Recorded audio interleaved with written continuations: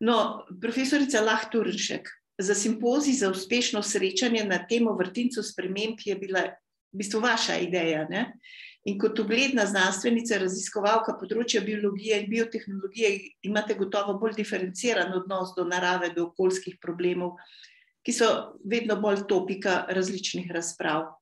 Nekje ste postavili tudi retorično vprašanje: smo se izneverili naravi, da nam je se v bistvu uprla? Ali smo se izneverili? Ja, da sedaj kaže in zgleda, da se je razvoj naše civilizacije, našega intelekta razvijal v tej tej smeri, da smo začeli delovati proti naravnemu ravnotežju, kar imenujem izneverili.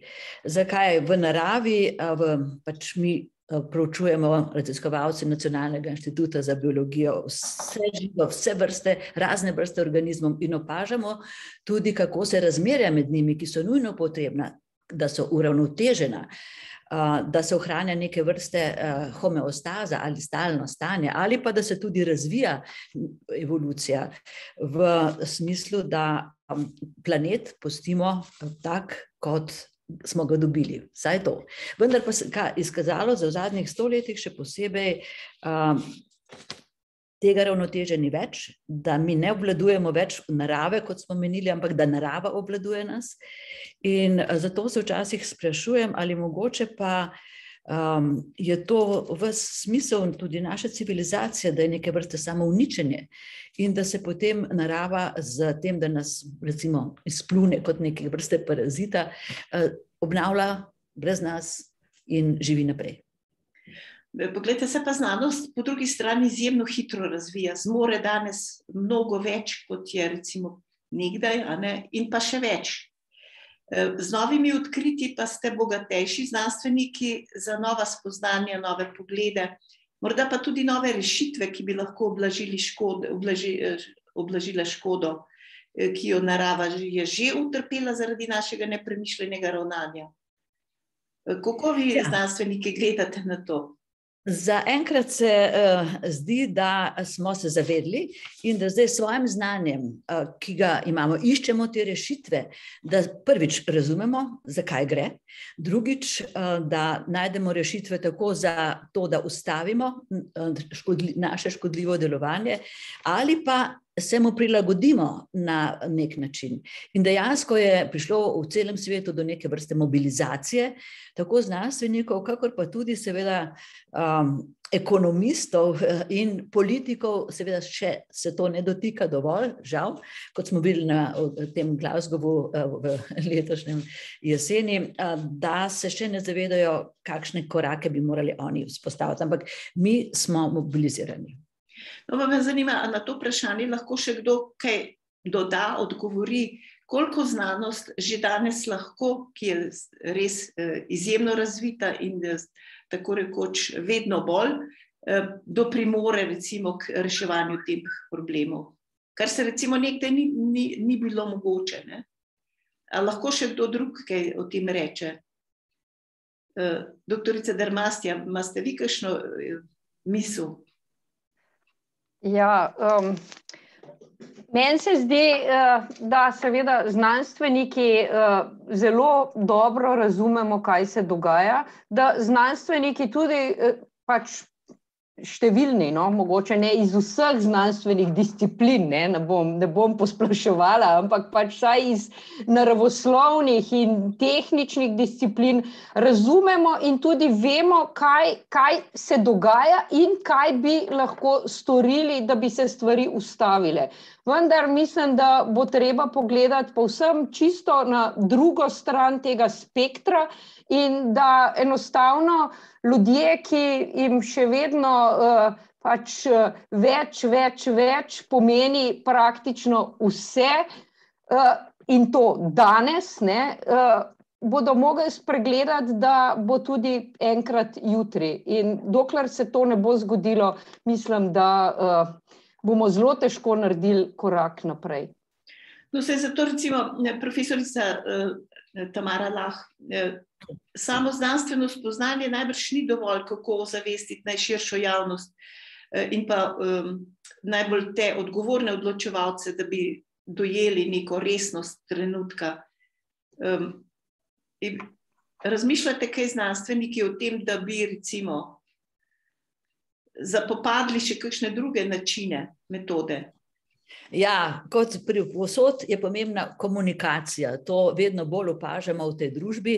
Zato uh, samo naravoslovci, tehniki tukaj niso dovolj potrebujemo družboslovce, potrebujemo psihologe, potrebujemo komunikatorje, potrebujemo tudi medije, tudi vas v končni fazi, da pravilnim, na pravilen način, s, pravilnim, s pravilno dikcijo naslovimo posamezne skupine dele naše družbe.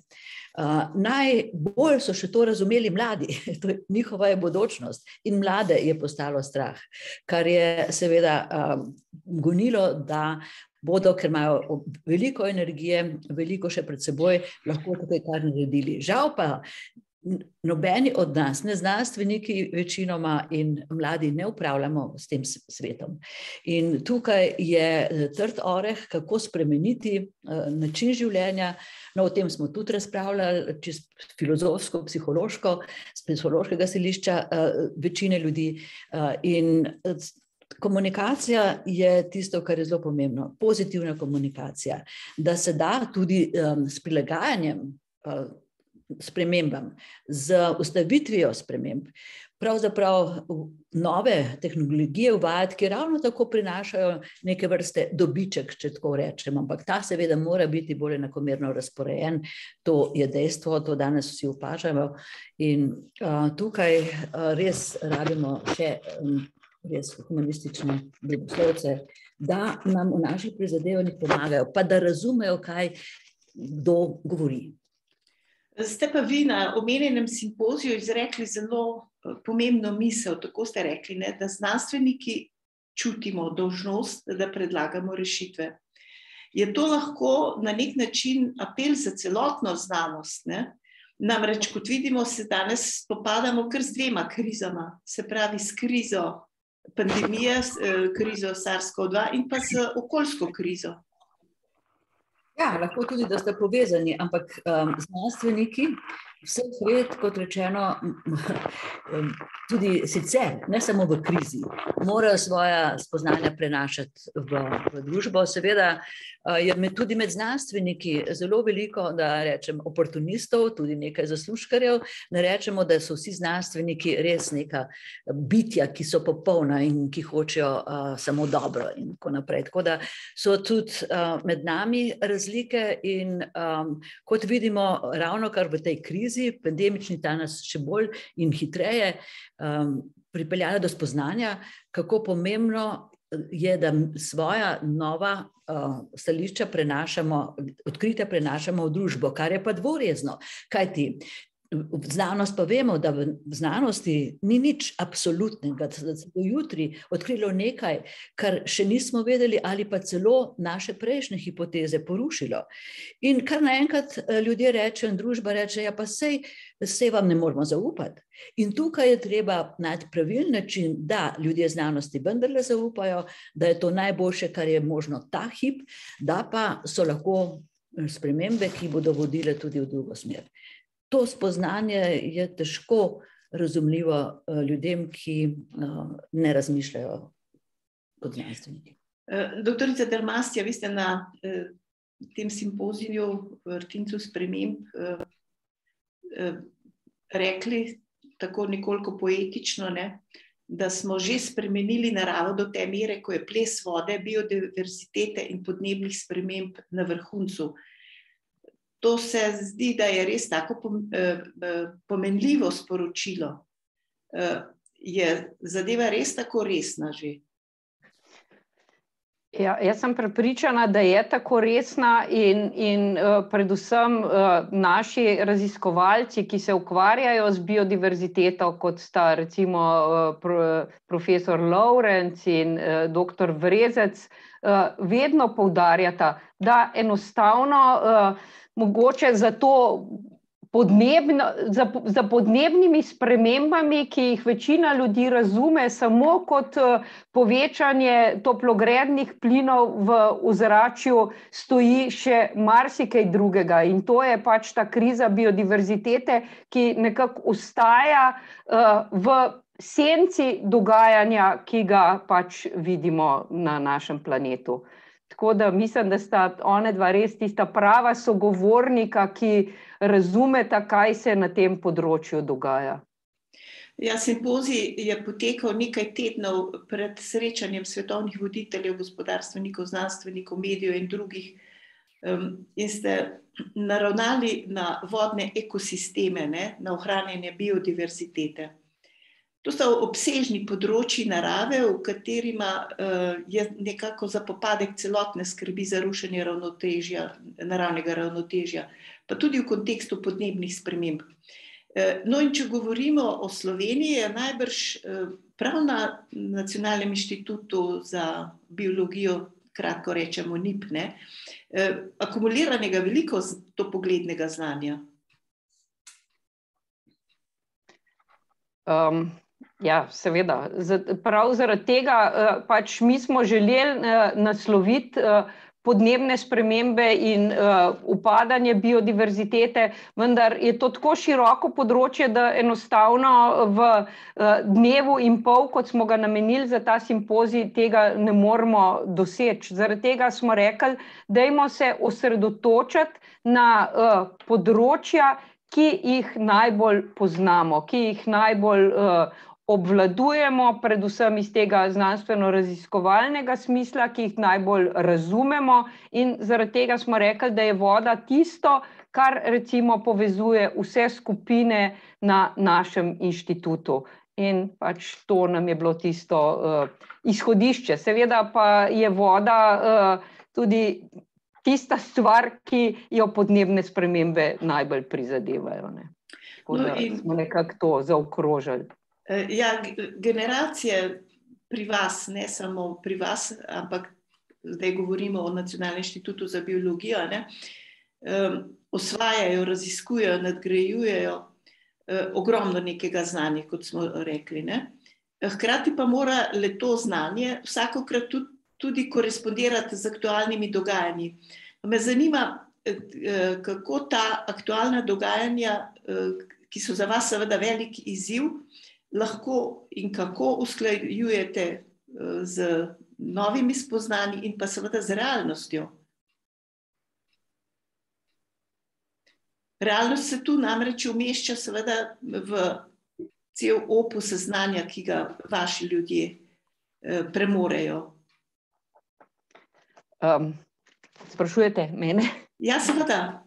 Ja, ja, ja um, seveda. Pač, uh, mi, uh, kot raziskovalci na različnih oddelkih, se ukvarjamo z različnimi področji, uh, in uh, enostavno na ta naša področja, tako kot ste ravno kar rekla, udirajo vsak dan nove stvari, katerim se pač moramo kot zavezani znanstveniki takoj odzvati. In seveda, mogoče na prvi pogled se zdi, da z nečem, kot je recimo COVID, trenutno nimamo nobene zveze, vendar smo v zelo, zelo kratkem času po izbruhu epidemije ugotovili, da, da ne samo ena skupina, da praktično vse naše raziskovalne skupine lahko k temu na nek način prispevajo. In smo se praktično v začetnih tednih epidemije vključili z našimi znanji,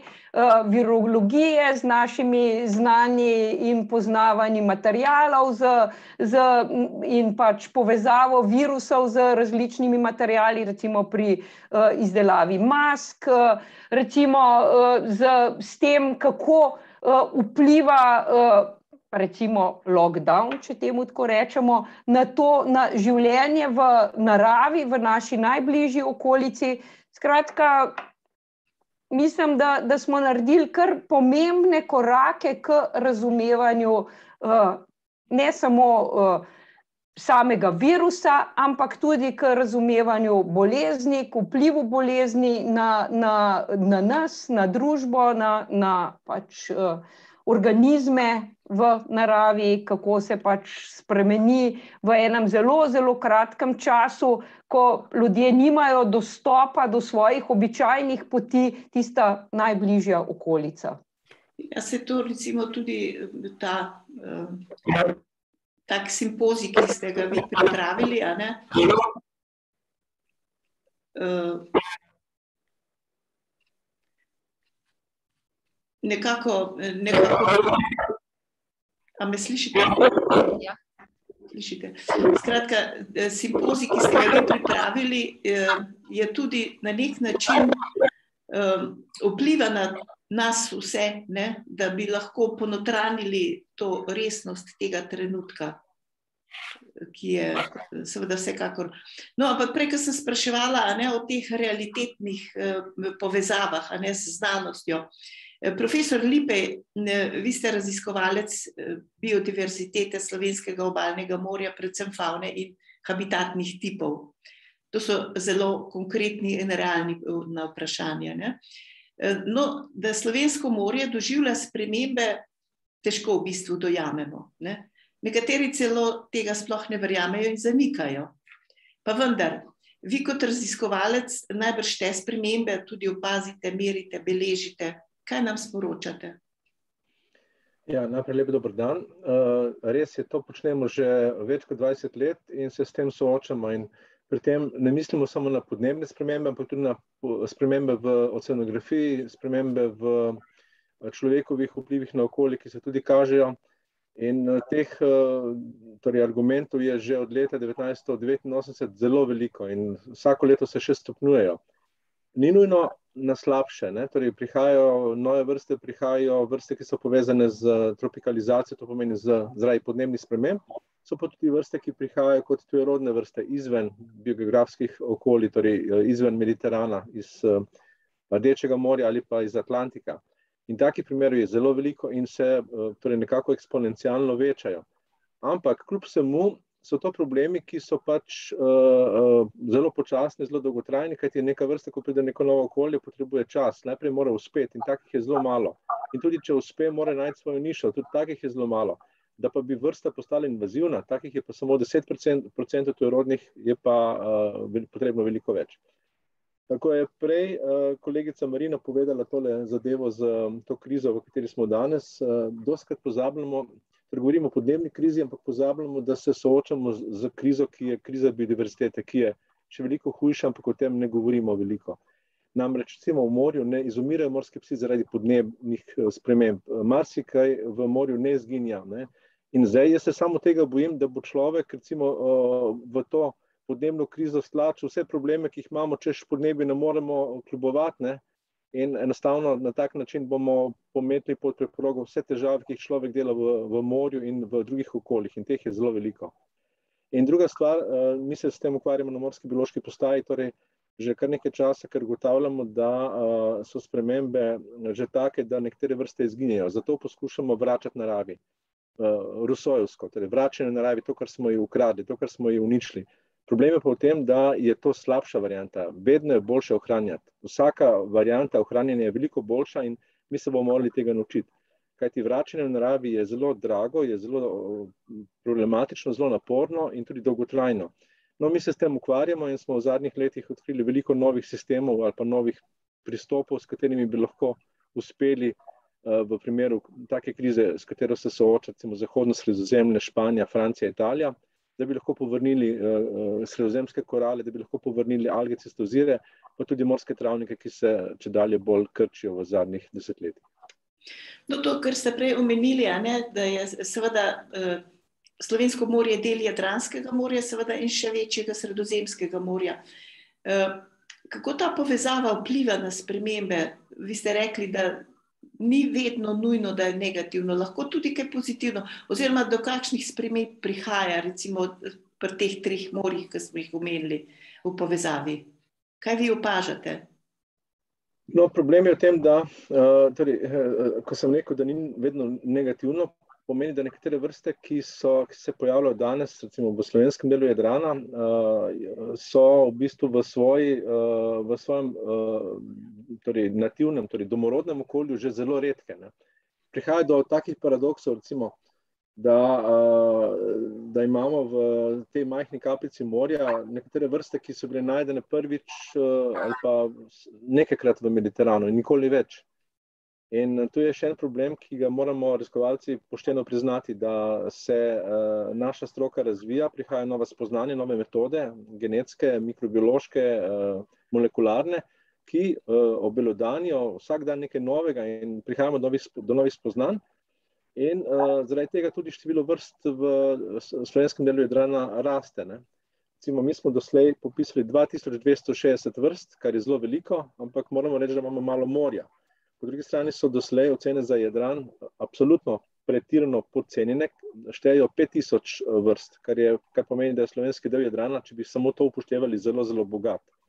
In kot, se rek, kot ste prej omenili, to povezavo s sredozemljem, seveda, morje je dinamično okolje, v morju je zelo malo endemitov, v morju so povezave zelo, bom rekel, dobre in se potem to, kar se pozna v določenih okoljih, se pozna tudi preko slej tudi v slovenskem delu Jadrana.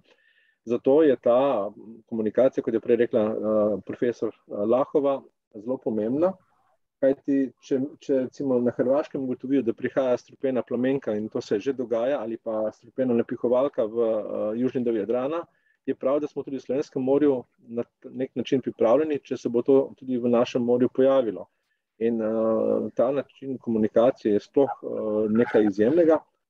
Kot še druga plat uh, te medalje in sicer uh, povezanost ljudi, torej slehrnika v, v bom rekel, um, spoznavanje problemov v morju. Temu rečemo danes moderno citizen science ali poslovensko ljubiteljska znanost. Ta ljubiteljska znanost je zelo pomembna, kajti mnogi navdušenci, ljubitelji, naroslovci, nevladne organizacije in tako naprej, ribiči, potaplači, prispevajo kar velik del svojih spoznanj v mozaik, ki ga potem raziskovalci oblikujemo in prihajamo do pomembnih odkritij, ki seveda kaže na to, kaj se danes dogaja v slovenskem, jadranskem in tudi mediteranskem morju. No, ko ste govorili o, komunikaciji, pomembnosti letene in tudi profesorica Lahova, kako se vi kako, kako se vaši kolegi, recimo iz teh uh, obaljnih držav, uh, soočajo recimo, s temi problemi? A kaj ja, sodelujete? Mislim, da to eh, gre skoraj za globalne probleme. Ne? Absolutno, in seveda tega, tega se zavedamo že dolgo časa, in moram reči, da sem lahko, lahko sebe deklariran kot srečnež, ker pač že dolgo časa sodelujem z, z mojimi sodelavci iz Morske biološke postaje Inštituta za biologijo. Uh, Uh, skupaj s hrvaškimi kolegi na otoku Mletu raziskujemo že več kot deset let, raziskujemo tudi v Boki Kotorski, uh, sodelujemo tudi na projektih skupaj z nemškimi raziskovalci iz inštituta v Mihnu, uh, sicer na Brionih in v Kvarnerju. In uh, vsa ta spoznanja, ki jih skupaj z nemškimi, hrvaškimi italijanskimi kolegi pridobivamo, so zelo pomembna, po drugi strani pa krepijo skupno, rekel, uh, skupno težnjo, skupno skrb za, za reševanje problemov, s katerimi se soočamo. En takih problemov je bledenje koral. V tropih uh, je to zelo hud problem in veliko koralnih grebenov zaradi tega izginja. Uh, s tem se soočamo tudi v slovenskem delu Jadrana in tudi na toku Mleto in te stvari redno spremljamo že deset let in spoznavamo ali pa bom rekel, prihajamo do spoznanj, kako se da te stvari omiliti. In kot sem že prej omenil, To je tudi naša glavna težnja, da poskušamo vračati naravi, da poskušamo najti sisteme, kako upočasniti te probleme, ki so povezani uh, s podnebjem. Kajti uh, danes je, torej bojevati se proti takemu sovražniku je zelo težko. Problem je potem, da ta sovražnik ni torej podnebje, je to vprašanje, če to sovražnik, to v bistvu smo mi zakuhali ta problem. In uh, mene najbolj skrbi to, da bomo v okviru teh podnebnih sprememb pod preprogo skrili marsikaj drugega, kar bi lahko enostavno rešili, od prilova do prelova, do onesnaževanja, do eh, netrajnostne rabe, do degradacije okolja, do veliko, veliko, veliko števila problemov, ki, danes, eh, ki so danes posod v, v morju in drugod pereči. Vi že leta delate, beležite ta monitoring ne, z, z različnimi parametri, ne, ocenjujete če prihaja do sprememb, pa pozitivni, nekakor ne. Pa me zanima, eh, če se ve, kolikšen del krivde lahko pripišete človeškim dejavnostim, koliko pa recimo nekim naravnim procesom spreminjanja. Prej ste omenili recimo probleme s morskimi psi, ne? da izginjajo ali se rečijo. Ja. Uh, zanimivo je, torej, tukaj dosti krat smo raziskovalci taki, da smo premalo kritični. Jaz pa bom tukaj kar povedal, da sem v preteklosti nekoč neko vrsto že nekako v, v svojih prispevkih tudi že uh, obelodano kot izumrlo, pa sem se zmotil. In da sem se zmotil, sem zelo vesel, ker se ta vrsta spet pojavlja. Gre za morskega psa sklata, to je morski pes, ki je hrbno sproščen, zrastel do dveh metrov in je posod po svetu zelo redek, malo manj na Kanarskem otočju, drugače v Mediteranu zelo redek.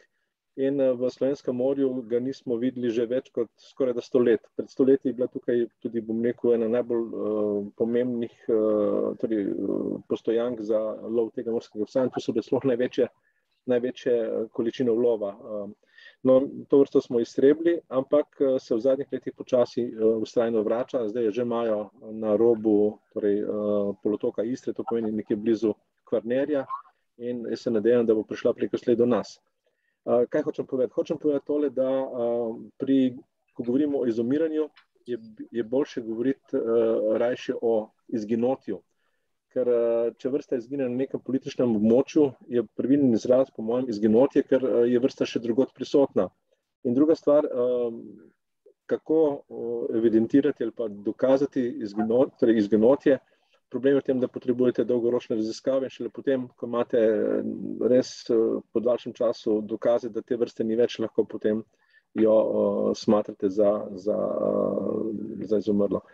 Hočem reči, da je teh problemov zelo veliko in vi ste vprašali, kako je z človeškim faktorjem. Človeški faktor je glavni faktor tudi podnebne spremembe. Eh, tukaj je človeški faktor zelo pomemben in uh, raziskovalci bomo naredili svojo plat, da bomo poskušali to rešiti ali pa vra, vrniti nazaj v naravo, čeprav kot eh, trdim, to je draže, ne, veliko draže, kot recimo, če bi samo ohranili.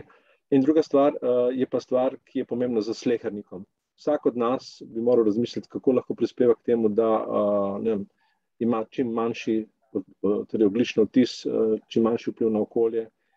Uh, to je stvar posameznika in samo na ta način bomo prišli do, do bom rekel, nekih uh, izboljšav ali pa vsaj nekih uh, svetlejših uh, trenutkov. Poglejte, vendar se recimo vprašanje velja tudi za vse ostale ampak ker že mi dva govoriva o lajčnem govoru, pogosto slišimo ocene, da so se spremembe dogajale tudi že prej in ne gre zdaj danes za neke posebnosti. Ne? Me zanima, kako kot znanstveniki prepričate o nasprotnem, oziroma kot rečemo, kako zastavite svojo znanstveno integriteto. Ne? A, a, nekaj uspešni ja. pri tem, pri tem dvomih. Ne? To so lajki, pogosto rečejo, vse to so bila vremena, taka in taka. Ja, jaz, eh, če samo še to, če, če mi dovolijo kolegi, da še to povem. Torej, meni je nekoč uh, en prijatelj, ki tudi dela v akademskih sferah, je rekel, da sem premalo družbeno angažiran. In takrat naprej uh, imam uh, torej, redno uh, dvotedensko kolumno in poskušam dati čim več intervjujev in, poskuš, in poskušam preko študijskega procesa povedati čim več študentom to, kar vem in širiti uh, pač to, kar sem sam uh, spoznal. In uh, dosti krat se vprašam, uh, zakaj to ni dovolj. Ne. Kakšenkrat je problem tudi v tem, da, da smo kot naroslovci, morda, čeprav pravi, da so naroslovci bolj, bom rekel, da se bolj izpostavljajo kot družboslovci in tako naprej, da pač ta debata je skozi v, v zraku. Uh, jaz mislim, da smo tukaj marginalizirani in da, ko govorimo, že malo prej kolegica, uh, profesor Laha povedala, da, uh, prej, da, da, da se predvsem uh, angažirajo drugi, da torej danes je poslal tudi nek mail, ki piše, da so za to belo knjigo, Evropsko belo knjigo, da so angažirani predvsem razni družboslovci, torej energetiki in tako naprej, medtem ko mi enostavno premalo poudarjamo svojo plat. Ampak jaz se sprašujem, kaj mora človek narediti, da res uspe prodreti s svojimi mislimi, s svojimi idejami, da nekako pač prepriča ljudi. Uh, jaz mislim, da sem dovolj družbeno odgovoren, ampak uh, morda je problem v tem, da se premalo poslušamo, premalo slišimo. Ja, profesorica Lahova, se vi strinjate s tem? Mislim, kako pa vi delujete? Vi ste tudi taka ugledna znanstvenica, eh, biotehnologinja, biologinja. Ne? Kako recimo zastavite svoj, eh, svoje, kot rečemo, ne? svojo integriteto znanstvenika, da prepričate ljudi, da so zadeve resnično resne? Hvala, to misel. Uh... Eh, profesor Lipeja, da je treba komunicirati tudi z drugimi vrstami, drugimi znanstveniki, torej ne samo družboslovci. Dam primer in tudi moj primer, kako, kar ste me pač vprašali, kako delujem. V zadnjem času eh, se Akademija eh, Slovenije, katera je članica, sem in pa Svet za razvoj ustanovila skupine, eh, oziroma se še ustanavljajo, ki bi eh, zbrale najboljše strokovnjake, eh, torej ne samo akademike, ampak ljudi, ki so res tudi angažirani, ki se pojavljajo tudi v medijih, da jih prepoznajo da bi potem skupaj rešili določen problem. Kajti nek podnebni problem ne more biti rešljiv ali samo z biodiverziteto, ali samo z energetskega stališča in tako naprej. Zato imamo zdaj neke vrste tudi predavanj in um, smo imeli tudi na našem simpoziju energetiko, obravnavano z različnih stališč, voda, sonce, uh, jedrska in tako naprej, in kako se te med seboj izključujejo in seveda ne nazadnje distributerje električne in druge energije. Kako um, vendarle živeti, ker mi pač moramo živeti in delovati um, kot družba, kot um, pač tudi kot rečemo neka ekonomsko uh, vzdržna, trajnostna družba uh, in istočasno skrbeti za to. To se pravi, mi se moramo vključevati v že obstoječe možnosti, ki jih imamo. Seveda ne moremo uh, samo eno možnost, moramo kombinirati več možnosti in tukaj nas potrebujejo. Um, in jaz želim spostaviti te povezave med uh, čisto tehnično, tehnološko um, plat in na drugi strani, kako mi najdemo kazalce, ki bi eno ali drugo um, plat um, ali favorizirali, ali pa povemo, da je ta neozdržna. Recimo, že pri uporabi sončne energije, kakšni so problemi za okolje? Dam samo en primer. Smo imeli zadnjič razpravo na Inženirski akademiji, da pač bi postavili te velike površine sončnih elektrarn na, na močvirnata površino, ker pač mislijo, da ta močvirja čemur ne služijo. Biologi vedo, da tudi ta so pomembna, da je to gre za pač, ekosistem, vodni ekosistem, in seveda tega oni ne vedo. To se pravi, se moramo pogovarjati med seboj in sedaj intenzivno sproti, ker nimamo več veliko časa. Tako da ustanavljamo pač nek ta krok skupine znanstvenikov, ki bi se in tehnologov, in inženirjev, ne samo znanstvenikov, in recimo družboslovcev, ki bi potem na nekih rednih konferencah predstavljali te novosti, tudi seveda izračune, kaj kaj stane, kaj ti vsega si ne moramo privoščiti, tudi če bi še tako hoteli. Ne. Tako da to je zelo, zelo kompleksen sistem, kako se opirati podnebne spremembe ali pa se jih a, pač. A, jih prepričevati v budoče. Marina, vidim, da. Ja, profesorica Dermast, ja, izvolite.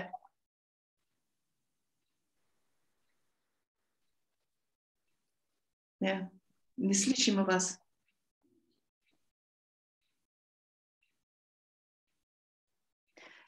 Jaz bi nekaj dodala čisto na to izvorno ja, vaše, vpra vaše vprašanje o tej komunikaciji. Ne?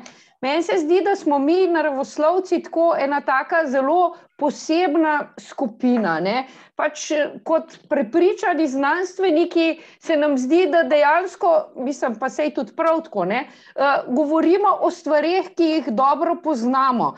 In enostavno, če nas pač vi iz medijev ne vprašate v kakšni stvari, ne, uh, moraš reči, jaz sem tako družbeno angažiran, da bom tudi nekaj povedal, ampak pač uh, moje področje je pa nekje drugje. Ne? In pač tako nas, se mi zdi, tudi javnost dojema. Ne? Posebej zdaj se vidite v tej eh, COVID situaciji, veliko krat slišimo, no, pa kaj bojo zdaj biokemiki govorili o cepivih. Ne?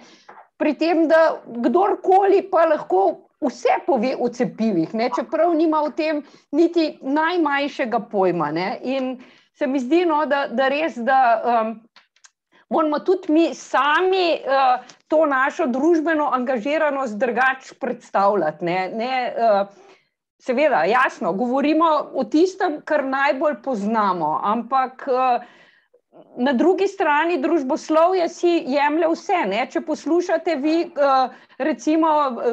Besednjak, ki ga družboslovci uporabljajo, praktično že ne vem, koliko besed so vzeli iz našega terena, ne, če tako rečem. Ne, to eko, ne, vse je eko, vse, uh, vse se pod to razume, ne, in oni pač tako to razumejo in tako vejo. Ne. Tako da je tudi krivda malo na naši strani, se mi zdi. Uh, ja, uh, doktor Mikel. Ja, če se še jaz navežem na to. No. Tudi, tudi jaz sem pri, ko občasno kaj predavam, sem izhajal iz tega, ker tudi izhajam iz naravoslovja. Da pač poveš dejstva in misliš, da to je to. Ne. Pač ljudje ti prisluhnejo in kaj če še zdaj dodajati. Ne. V resnici pa pri argumentaciji ali pa pri tem, da pač nekdo zagrabi ne, tist, tisto sporočilo, ki ga hočeš predati, je zraven še en, en cel kup spektr drugih stvari. Ne. Ljudje smo v resnici veliko bolj čustveni kot pa racionalni. Um, Čisto za primer, ne vem, če zdaj. Recimo, se mi deklariramo, pol, da smo anticepilci, pol pa cepilci. Pa če si začnemo drug drugemu govoriti, lahko da bomo vsi imeli dobre argumente, ampak samo zaradi tega, ker smo v ločenih skupinah, bomo takoj prekrižali in te pa ne verjamem. Ne? Ali pa ne vem, jaz recimo zdaj sem mlajši, pa mogoče si kdo misli, kaj pa ta ve, kaj pa ta govori. Ne? Tako hočem reči, da samo nizanje dejstev ni dovolj, sigurno pa to, kar je kolega Lorenz omenil, um, poslušanje, to pa sigurno manjka. Ja, to, so, ja, to je zanimivo. Ne? Eh, doktor Vrezec, eh, pogledajte, eh, vaše raziskovalno polje je usmerjeno predvsem v ekologijo.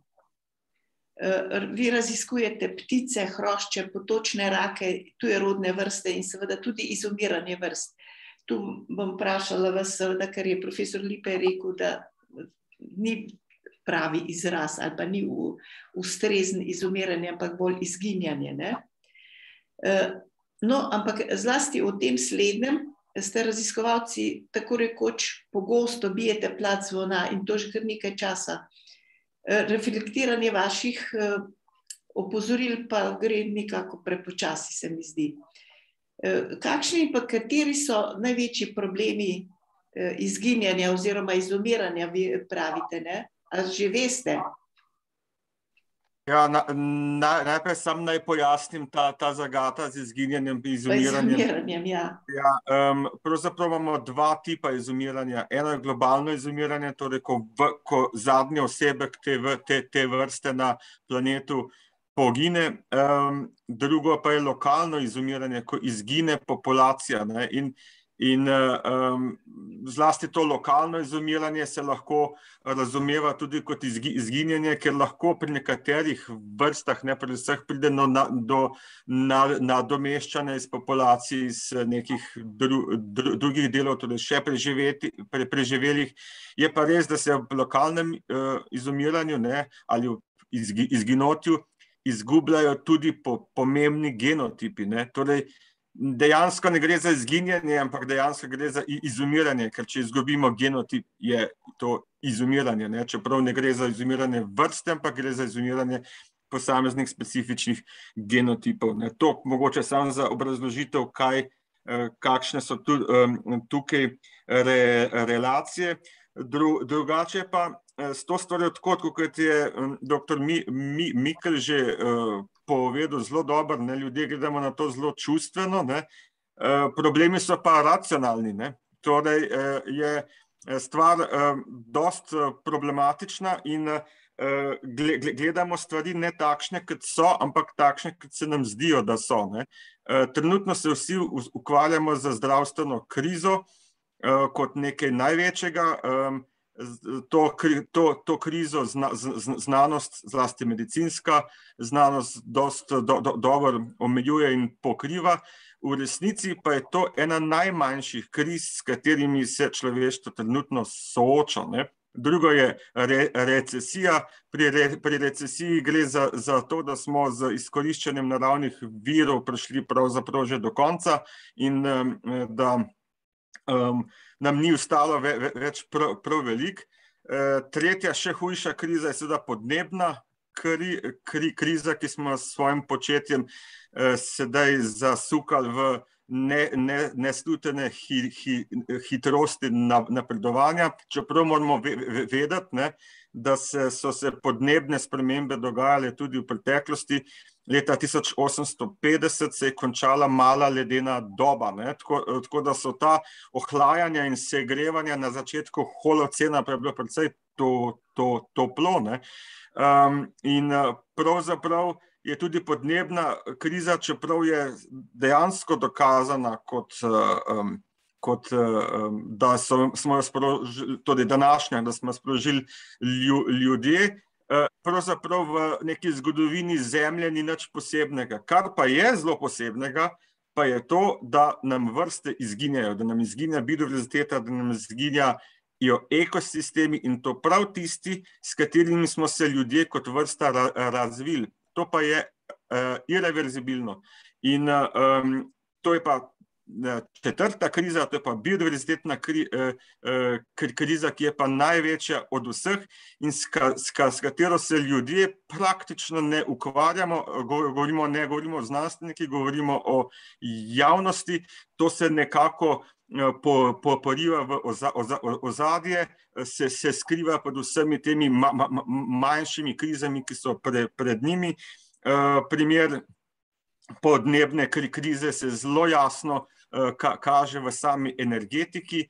Uh, iščemo obnovljive vire, torej obnovljive vire v smislu, da uh, prispevajo uh, malo k uh, samo pospeševanju podnebne kri, krize, Eh, nekateri eh, viri obnovljivi pa niso trajnostni, ker nam pravzaprav uničujejo biodiverziteto in izgubljamo biodiverziteto, ki je pa bolj irreverzibilna, kot je samo podnebje.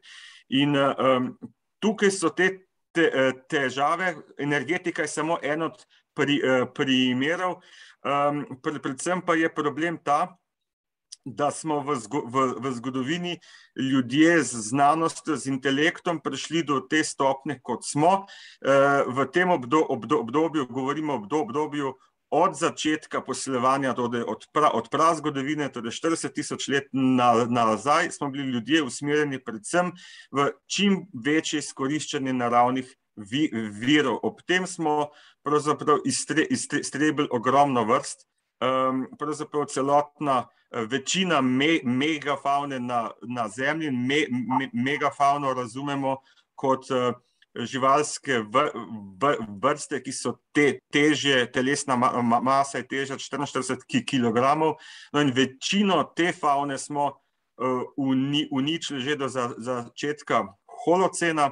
Um, no, uh, izumiranja se na, nadaljujejo. Če samo povem, da se je od, od konca holocena do, da, do danes izumrlo kar 6% ptic, um, no, v naslednjih stoletjih pričakujejo, da jih bo izumrlo 6%. To torej pomeni, da v 11.000 letih je izumrlo enako število ptic, kot jih bo v naslednjih 100, 100 letih. Hi, hitrost izumiranja samo ptic, ki jih do, do, dobro poznamo, se zelo povečuje.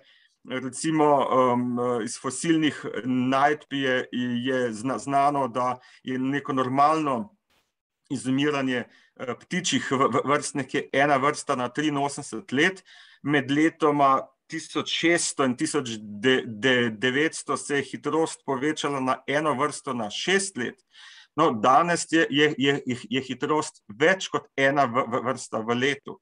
To, to, torej, smo na, na, na pragu de, de, de, dejanskega mno, množičnega izumiranja vrst, in če se eh, naučimo, kaj je to bilo v zemeljski zgodovini, za, zadnje mno, množično izumiranje je bilo pred 60 milijoni let, ko so izumrli dinozauri. In te dinozauri smo danes se, se, se, seveda mi, vse skupaj je bila pa posledica eh, eh, kolabiranja biodiverzitete, ki je eh, da, danes v izjemnem ra, ra, razmahu.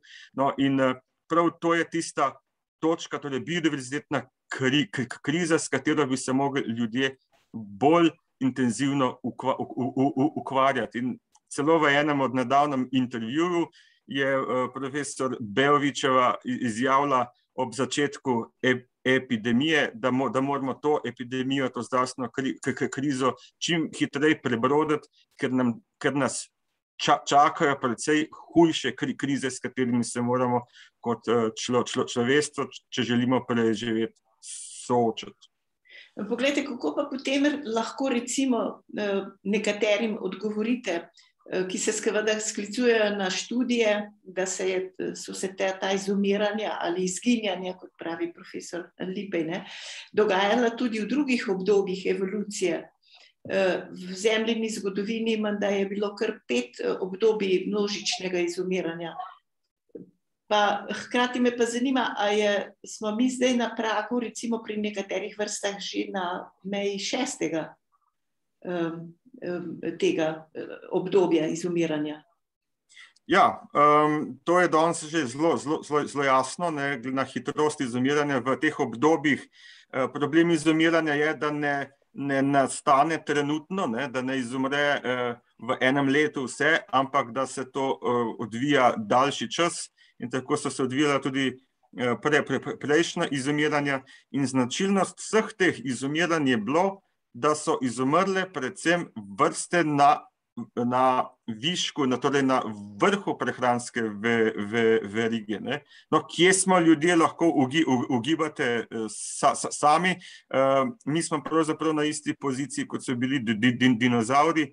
In um, če se ta vrtinec mno, mno, množičnega izumiranja bo še podaljševal in še uh, po, pohitril, smo seveda mi eni od kandidatov za izumrtje. Torej ne bakterije, ne manjši organizmi, ampak mi. Ne. Problem je ta, torej tega šestega množičnega izumiranja, da izumirajo vrste propada biodiverziteta, katere del smo. Ne. Mi nismo del biodiverzitete dinozaurov, pa trilobito in, in tako naprej. Mi smo del te biodiverzitete in ta biodiverziteta, s katero smo se mi ra, ra, razvili, da, da danes uh, izginja.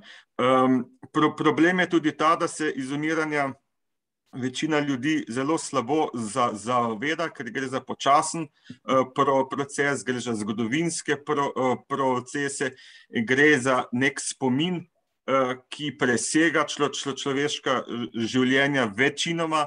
In uh, ta, ta, ta, um, ta uvid je za, za, za to zelo omejen. Naj samo omenim, da najhu, najhujša izumiranja na, v terestričnih, torej kopenskih ekosistemih so se dogajala in se dogajajo na oto, otokih. Um, no, in zanimivo je, da v uh, sredozemlju praktično imamo zelo malo otoških endemitov um, v primerjavi z Indonezijo, pa z nekimi dru, drugimi območji. Za, zakaj? Morda zato, ker jih pač tukaj ni bilo, vendar to ni res. Izkazalo se je, da so ob prvih osvajanjih teh oto, oto, otokov ljudje dobro počistili vse te endemite. E, to je bilo pa nekje v začetku holocena, torej 11.000 let nazaj. Uh, in seveda naš spo, spo, spomin ne seže ta, ta, tako da, da, daleč, to sklepamo seveda iz uh, fosilnih najdb. Torej se je ta mno, množično izumiranje pravzaprav začel že takrat, um, vendar se sedaj za, za, zadeva uh, stopnjuje. Po nekih ocenah naj bi v naslednjih desetletjih izumrlo kar 40% žuželk. Ne? Moramo pa vedeti, da funkcije e ekosistemov, oziroma e ekosistemskih storitev, um, v večji, ve večji meri temeljijo na populacijah žuželk, ki so najmnožičnejše, mno, mno, in da bo uh, takšno izumiranje po, po, po, pomenilo katastrofo za ekosisteme, za naše ekosistemske uh, sto, storitve ne, in za oko, o, o, okoljske težave, kamor lahko vključimo tudi zdravstveno kri, kri, kri, krizo, se lahko na ta način samo še stopnjujejo. Zato je prav, da, da, da danes s tem intelektom, do katerega smo pri, prišli, predvsem na, s pomočjo izkoriščanja na, naravnih virov, sedaj pre, preusmerimo v uh, intelekt, s katerim bomo naše delovanje začeli omejevati. Problem je v tem, da je to en nov aspekt, s katerim se člo, člo, člo, človeštvo um, so, so, sooča, torej samo omejevanje. Ne? In uh, to je pravzaprav zelo težko ra, razumeti, ker po, po, povzroča tudi uh, politično nestabilnost, uh, povzroča migracije, po, povzroča. Uh, um, bo, bo, borba za preostale vire in tako naprej, ampak v naravi je vse re, re, re, realno in um, če tega pač ne bomo naredili, bo šla stvar po scenarijih, ki so bolj ali manj že jasni. Ja, to nič kaj bleščeča prihodnost ne, nas ne bi čakala, če ne bomo seveda nekako ponotranili teh problemov in začeli ukrepati. Se zato me pa zanima, dr. Miha Mikl, ne? Eh, vi ste del skupine Mladi za podnebno pravičnost. Ne? Eh, to je v bistvu svetovno gibanje množično nastopate in zahtevate neko dostojno prihodnost za vas vse. Me zanima, kaj je vas mlade v bistvu spodbudilo naj, ali pa najbolj zmotilo, da ste tako vehementno dvignili glas in se združili ob tej zahtevi da pravite, da je dovolj ignorance, da ne pristajate več na objestnost uničevalske industrije, političnega leporečja in potratnega načina življenja, ki uničuje vašo prihodnost. Zdaj, težko je govoriti v imenu vseh mladih, no, ampak se mi zdi, da če, glede na to, da, da je veliko govora bilo tudi v samem simpoziju o, o povezavah ne, med vodo, podnebjem in tako, mogoče čez eno prispodobo to povem, da smo že en lep čas človeštvo kot tiste žabice, ne, ki se počasi kuhajo. In mislim, da smo prišli zdaj v, v neko obdobje, ko nam ni več prijetno, ko že malo čutimo, da, je, da postaja prevroče. Ne. Še vedno pa pač mečemo gor na plin, um, pa privijamo ogen. Uh, kaj hočem s tem reči? Ne? Če se omejimo samo na podnebne spremembe, pač vidimo, da da te niso neke več oddaljena prihodnost, ko se bo začelo segrevati, pa več neviht, pa poplav, pa suš, pa tako naprej, ampak to vidimo že dan danes, ne, povsod po svetu, ne samo sicer v najbolj prizadetih delih sveta, kjer prebiva tudi najrevnejše prebivalstvo, ampak tudi na bogati zahod vsake tok časa narava pokaže zobe. Zdaj ni rečeno, da je vse to posledica podnebnih sprememb, je pa teh pojavov če dalje več. Um, zdaj, razlog, zakaj smo se pa mi pridružili temu simpoziju, najprej na tem mestu še enkrat hvala, da ste nas sploh povabili, je pa med drugim ravno to, ne, da, da se pogosto preveč omejujemo samo na en problem. Ne. Kot so že kolegi prej povedali, mi naravo in pa dobesedno lasten podstat za obstoj obstreljujemo z mnogoterimi škodljivimi učinki. Ne? Od tega, da se grevamo podnebje, do tega, da iztrebljamo živi svet, onesnažujemo in tako dalje, ne? in tla, voda, zrak. In od vseh teh biofizikalnih procesov, ki, ki uravnavajo to ravnovesje Zemlje, ne, um, sta dva najbolj pomembna in sta povzročila tudi v preteklosti ta množična izumrtja, o katerih ste prej sprašvali. To so podnebne spremembe in pa biodiverziteta, pa biosfera. In se popolnoma strinjam, da ravno ta drugi del je pogosto prezrt ali pa preslišan, in zato se nam zdi pomembno, no, da smo tako združili moči in da o tem upozarjamo. Zelo me veseli, da se je tudi Nacionalni inštitut za biologijo tako družbeno angažiral v tej smeri. Um, in res moramo paziti, ko naslavljamo te probleme, ne, pogosto pač predvsem uh, je tukaj govora o energetiki, da ne delamo enega na račun, nečesa na račun drugega. Ne. Prej je kolegica Lahova lepo omenila postavljanje sončnih elektrarn na močvirju. Drug tak žalosten primer je pa recimo postavljanje hidroelektrarn, ne, ki sicer zagotavljajo neke vrste zeleno energijo oziroma brezoglično energijo, ampak na velik, velik račun uničevanja narave. Kako pa vi opredeljujete v bistvu planetarne meje, ne? ker pravite, da se zauzemate za blaginjo znotraj planetarnih meja. Ne? In seveda, ker, ker kot razumem, gre za nek tak holističen pristop vaš. Ne? Pa me zanima, kako pa potem lahko delujete na nekih bolj lokalnih okoljih. Ja, vse to sem deloma že prej omenil. Prav, to so neki biofizikalni procesi, znanstveniki so jih prepoznali devet, poleg planetarnih, uh, mislim, podnebnih sprememb, še biosferna integriteta, raba kopnega, poraba vode, nasneževanje zraka in tako naprej. Um, in pač pomembno je, da vse te na, naše morebitne rešitve ne, za enega izmed teh problemov, da se zavedamo, kakšen je pa lahko vpliv na neke druge aspekte, ne, na druge planetarne meje, če hočete. In že prej omenjen, ne vem, tak na, najslabši primer se mi zdijo ravno recimo hidroelektrarne, ne, ki se pogosto govori samo o tem, da z njimi pridobivamo zeleno elektriko oziroma brezoklično elektriko, Uh, opozorila, predvsem naravoslovne znanosti, so pa pogosto preslišana. Um, po drugi strani, ne, pa, kar pa da vliva tako veliko upanja, je pa to, da lahko te probleme ne, dobesedno na en mah, mislim, ne ravno rešimo, ampak vsaj v veliki meri naslovimo. In to je narava, ne, če, če pustimo prostor, um, če v določenih primerih, kot je že kolega Lovrenc prej omenil, tudi povrnemo nazaj, kar smo oduzeli ali pa degradirali, uh, rešuje obe te krizi zelo dobro. Pač biodiverzitetna kriza, koliko je meni znano, eden izmed največjih faktorjev, ki vpliva na to, je ravno spreminjanje nekega, bodi si kopnega ali pa morskega okolja. Um, potem pride direktni izlov, pa recimo podnebne spremembe, pa onesnaževanje in tako naprej. Um, torej, ena izmed pomembnih rešitev je ravno to, da naravi vrnemo prostor, um, ki začnemo kot tako tudi obravnavati, ne zgolj skozi prizmo nekih evrčkov, kako bi se dal še tukaj posekati, pa požgati in tako naprej.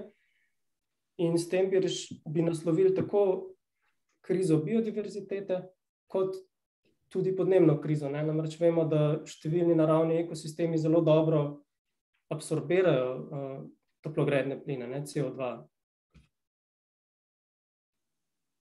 Tako da, ja, mislim, da rešitev v tej smeri. No? Iti,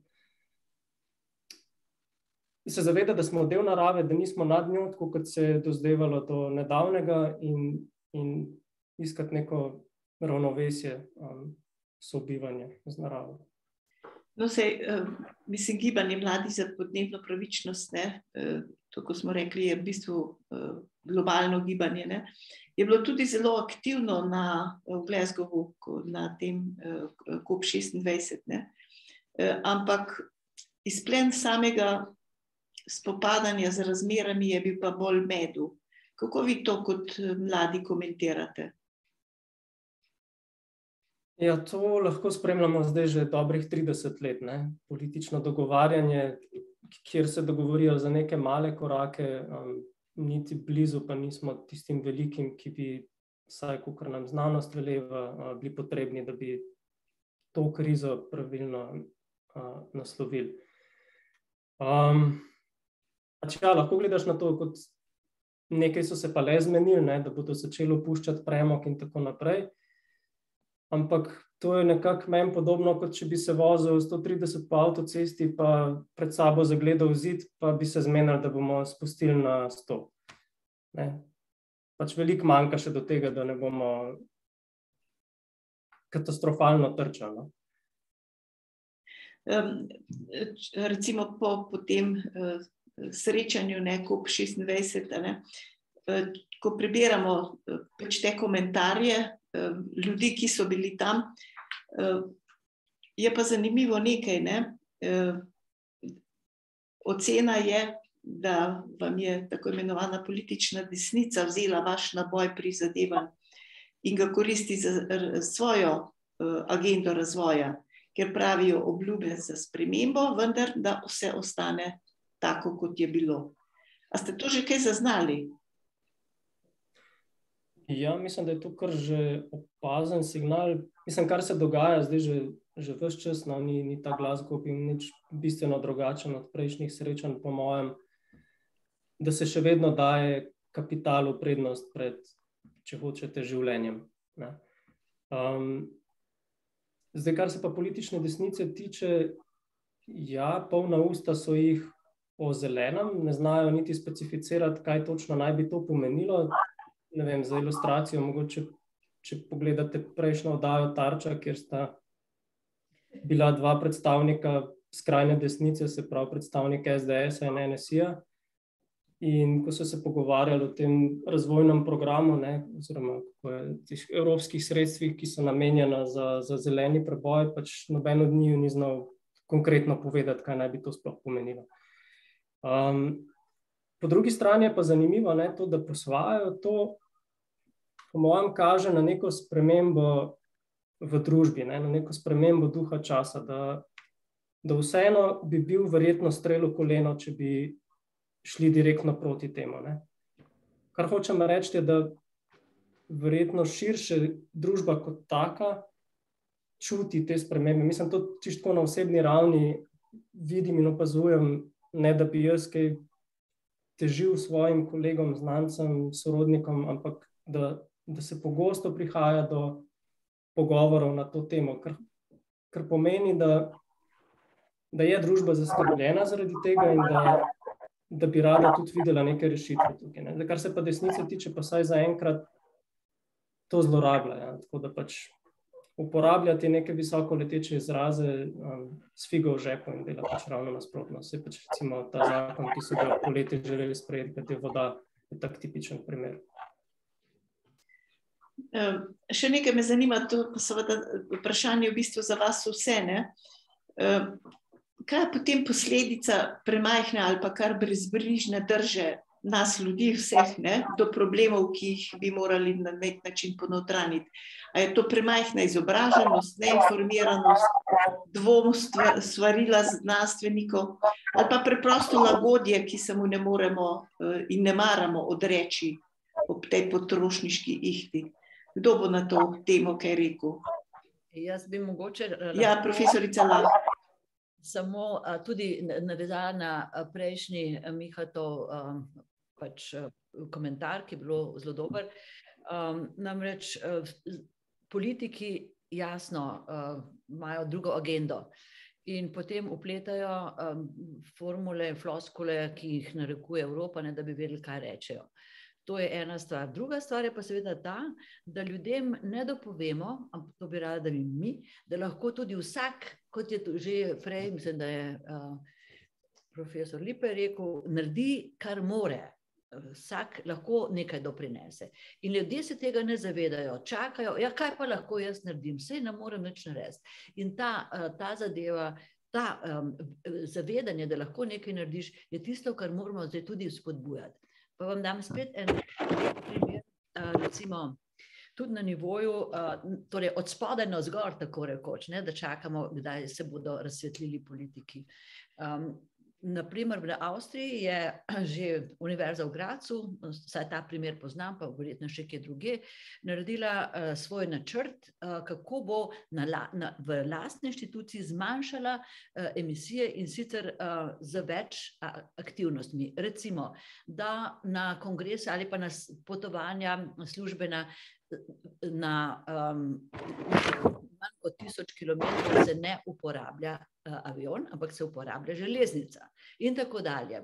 Da se, avt, se, pravi, da se poveča uh, uporaba koles, da kupi firma recimo kolesa, da se delovni čas primerno uredi in tako naprej. Skratka, da ne neštevam, korak za korakom, ki bi na nivoju ene inštitucije lahko zmanjšala te, rečemo, emisije. Že to, da se mi danes tako pogovarjamo, ne pa da bi se vsak nekam pelal, da bi prišel uh, profesor Lipe z morja pa nazaj uh, s svojim avtomobilom, pa vsak svojim nekam, že to je nekaj. Ne? Uh, seveda ne, ne rečem, da je to najbolj idealen način komuniciranja, pa vendar bo vedno več takih načinov, kjer se bomo lahko zedinili v to, da na, res na vseh nivojih od vsakega posameznika naprej. Pa če hočete ločevanje odpadkov, kar sicer ni, ne, to samo dam kot eno primerjavo, ampak ne, ne, ne se dosti tem, ampak vse. Jaz lahko nekaj naredim, jaz lahko zmanjšam porabo elektrike, jaz lahko nekaj naredim. In to zavedanje se pa začne tudi v šolah, tudi v izobraževanju in tako naprej. No. Tukaj je še en cel spektr aktivnosti, ki nas še čakajo. Ja, zdaj so se še kar najprej, mislim, da se je dr. Pikel prvi javil potem pa še dr. Vrezec in dr. Lipej. Uh, ja, izvolite, dr. Mikel. V resnici uh, ima kolega Vrezec prej roko, sam je potem malo spustil.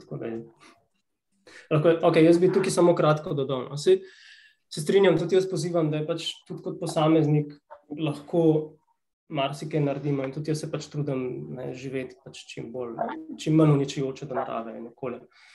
Ampak hkrati se pa moramo zavedati dometa teh sprememb. Ne? In mislim, da je tak lep dokaz, kakšen domet je, je ravno čas pandemije, lansko leto, ko smo kot posamezniki se bolj kot ne postavili na trpalnice, se pravi, bili smo doma, nismo potovali in tako naprej. Ne? Pa se je v tistem letu, oziroma v tistem obdobju, če, če se umijemo zdaj samo na aspekt podnebne krize, so se izpusti podnebnih uh, toplogrednih plinov znižali za okrog 7 odstotkov. Nekar je po eni strani prvič v dolgi zgodovini, da so se sploh znižali, super, ne? po drugi strani pa toliko smo spremenili naš način življenja, pa so se znižali zgolj za 7 odstotkov. In približno 7 odstotkov je znižanje, ki ga znanost predvideva, da bi mogli zniževati vsako leto. Ne, zakaj so se znižali samo za toliko? Je zato, ker se še vedno smo ogrevali naša stanovanja, ogrevamo se še vedno večinoma na fosilna goriva. Še vedno je globalna veriga tekla ne? in ta se tudi premika, transport poteka pač s fosilnimi gorivi. In tako naprej, ne? naša elektrika, ki poganja marsikaj. Tako da imamo omejen domet, se pa strinjam, da pač bi se morali kot posamezniki in kot družba bolj angažirati in to je tudi eden izmed zelo finih stvari, ki smo jih izpostavili v manifestu, po mojem mnenju, da bi mogli. Politika je trenutno zelo odtojena. Ta Glasgow je lepo pokazal, da živijo očitno na nekem drugem planetu. Um, in bi morali več se vključevati tudi z družbo. Ne? Recimo pri vprašanjih, kot je sprememba zakona o vodah, vključiti strokovnjake, neodvisne strokovnjake, kot so recimo Zniba in drugi. Ne? in tudi splošno javnost, ljudi, ki živijo ob vodah in tako naprej. Ok, da ne bom predolg. Ja, doktor Vrezec, še vi? Ja, um, to sem ho ho hotel povedati. Um, jaz sem kot ekolog, delam s populacijami, gledam na populacije ne, in kaj delajo posamezniki, je pravzaprav dosti nepomembno. Nepomembno je, kaj dela populacija. Ne. Zato je včasih Eh, kako vsak sam prispeva, lahko pripelje tudi do pilatovskega umivanja rok, ne, kar pa ni najboljše. Ne. Jaz mislim, da glavni problem tako v, v, v svetu, v Sloveniji, pa še posebej, je nizka izo, naravoslovna izobraženost pre, pre prebivalstva. Torej, na, naše šo, šo, eh, šo, šolstvo um, izobrazi na, v naravoslovnem smislu na, naše otroke izjemno slabo in to je potem posledica vse, vsega. Cimona, eh, prej smo govorili o biodiverzitetni kri, eh, krizi, otroci v šoli praktično biodiverziteti ne vejo nič. In eh, to je, to, to je bistven problem, zakaj se mi soočamo s temi težavami. Če, so, če, so, če ljudje so izobraženi, imajo znanje, je posebno dru, drugače. Pri obtele kri, eh, zdravstveni krizi s COVID-om se je prav to izkazalo v državah, kjer je naravoslovna izobraženost vi, višja s cepljenjem, niso imeli problemov. Probleme so imeli v, v državah, kjer je naravoslovna eh, izobraženost eh, nična ne? in mi, so, mi sodimo v ta blok. Um, ka, ka, kar se tiče pa po politike, bi še, še to navezal. Na, na um, sve, sve, svetu vla, vladajo še vedno um, klasični politiki. Uh, v trenutnem situaciji, ki pa so, pa potrebujemo krizno po, po, po politiko. Krizna politika pa mora temeljiti na znanosti in ne na nekih družboslovnih, pa, ču, pa čustvenih um, vzgibih, ampak predvsem na znanosti. In uh, da, danes se politiki delijo na leve in, de, in, de, in, de, in desne, prava krizna politika pa bi se mogla deliti na znanstvene in neznanstvene. In tukaj je ta problem, ki ga imamo na slovenskem in tudi na glo, glo, globalnem ni, ni, nivoju. Ko se, politika, ko se bo začela politika in izobraževanje spreminjati, upam, da čim prej, ker časa nimamo prav, prav, prav, prav veliko, šele takrat bojo, bo prišlo do, do, do sprememb. V trenutnem obdobju kompromis, kompromisarstva, ki je pa značilno tako za leve, kot za, de, za, de, za desne, pa rešitve ne vidim. Ja, zanimivo je. Ja. Ja, doktor Lipej. No, jaz bom uh, povedal tri dejstva, pa tri sklepe, kakorkoli že obrnemo. Tole, torej, um, to, ta tromba To je pozitivno. Pozitivno je tudi ta vrtinec sprememb uh, in se zahvaljujem uh, in Tamari in Marini, da ste me vključili v to zadevo in sem zelo vesel, da se je to sprožilo in eh, kar veliko takih stvari se dogaja glede tega in mislim, da, da smo prav to naredili in sem glede tega vesel. Sem pa tudi pozitivist, pač moram biti, si želim biti. In bom najprej omenil še eno dejstvo, ki ga je tudi prej Alo omenil, on je omenil profesor Beoviča, jaz omenil dr. Rozmana, ki je direktor Golnika na tistem intervjuju, ki jih jaz sicer namaram, v, v nedeljo zvečer na, na Ljubljani 1, je rekel, da si želite, da bi bila ta COVID kriza čim prej končana, ker on, on vidi veliko hujše probleme in je on prvi, da bi kdajkoli omenil, je omenil biodiversitetno krizo, čeprav je zdravnik, omenil pa sicer malo drugače, ne kot biodiversitetno, ampak kot krizo z umiranjem vrst. Tako da je tudi on glede tega pač to omenil in mi je zelo všeč, da bi morali nekako mi, kot bom rekel, pobudniki ali pa mi, kot prvo kategorniki, če lahko tako rečem, nekako mobilizirati eh, ne strokovno, pa ne mislim tukaj ne strokovno, v tem smislu, da pač uh, so to ne strokovnjaki, ampak da niso oži uh, strokovnjaki za pač probleme z biodiverziteto, torej, uh, da bi morali nekako mobilizirati to nestrokovno inteligenco, torej čisto vse druž, torej družboslovce, naravoslovce in tako naprej, ki so pripravljeni tukaj pomagati. In še zadnja stvar, kje je rešitev? Ne? Nažalost se kapital s kapitalom zbija. Kaj to pomeni? To pomeni, da uspešne so tiste rešitve, ko recimo določeni ljudje donirajo nekaj denarja in potem recimo kupujejo ornitologi razna zemljišča, ki so potem njihov zemljišče in tam lahko vrste živijo in tako naprej. Uh, donirajo denar za reševanje mokrišč, in tako naprej. Tu je nekaj taka rešitev, so taki majhni koraki. Uh, je pa res, ne, da v bistvu ti majhni koraki uh, so problematični, ker je ta čas preveč hitro teče zdaj bi morali nekako pohiteti s temi aktivnostmi, kako je rekel že Al, ali pa torej, smo v krizi, eh, rabimo krizno vlado, krizne mehanizme, krizni management, ali pa bom rekel, eh, upočasniti te probleme. To pa je stvar vsakega slehernika, kar smo danes že večkrat slišali. Kaj lahko naredimo pri sebi, lahko tudi pomaga. Super, ja. Ja, doktorica Dermast je Ja, jaz bi uh, pa še se dotaknila ene stvari, ki jo je tudi omenil Al, in to je res ta pomen izobraževanja. Uh, mislim, da, da uh, to, kar si omenil, Al, je do neke uh, mere res, ampak ne pa čisto. Ne. Pač to pedagoško področje kar dobro poznam in se že uh, desetletja borim proti temu, da bi dejansko. Uh, da bi mogli spremeniti učne načrte. Zato, ker v učnih načrtih je dejansko čisto vse. Če pogledate učni načrt uh, za šesti razred, je praktično identičen, kot ga imamo mi uh, v prvem letniku na, na fakulteti. In enostavno pač. Treba je narediti take učne načrte, da so starosti otrok primerni. In otroci v resnici razumejo bistveno, bistveno več, kot se morda nam zdi. Jaz se ukvarjam tudi z otroci v vrtu in lahko jim. V vsem, o biodiverziteti, o evoluciji, vsem jim lahko poveš, ampak se moraš spustiti na njihovo raven.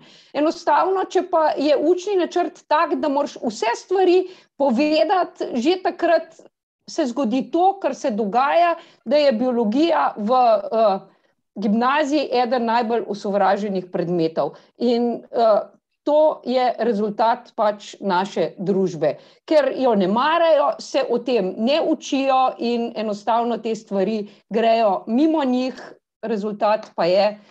Pač dojemanje uh, narave v naši družbi takšno, kakršno je, in o čemer smo danes, mislim, povedali kar veliko stvari.